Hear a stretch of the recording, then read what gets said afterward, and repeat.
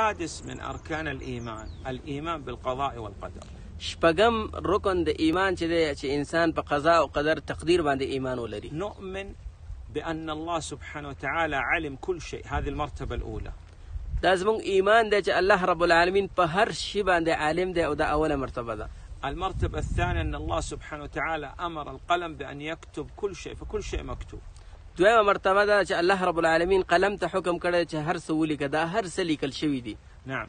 الثالث المشيئة. تقول أنا بعد الدرس هذا أريد أذهب أتوضأ مثلا من هذا الماء. شاء الله أن تذهب تذهب. شاء الله أنك لا تذهب والله لا يمكن أن تذهب.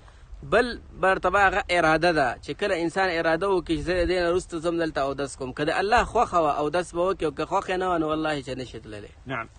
أعمال العباد مخلوقة كالعباد فأنت مخلوق وأعمالك كذلك.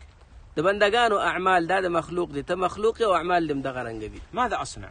څه وکمه أؤمن بهذه المراتب الأربعة په دې څلورو مرتبو باید ایمان راوړم أحسن الظن في الله.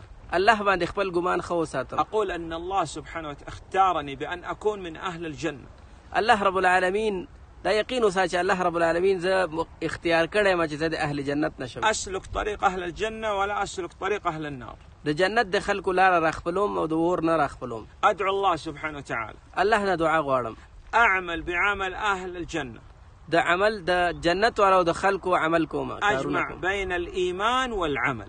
همدغه رنګ د ایمان أو د عمل په منځ کې یو ځایوالی راولم. لا يمكن أن أعمل بعمل أهل الشقاء نسأل العافية والسلامة والله أعلم. دا امکان لري چې زه د بدبختو خلکو اعمال راخپل کما والله اعلم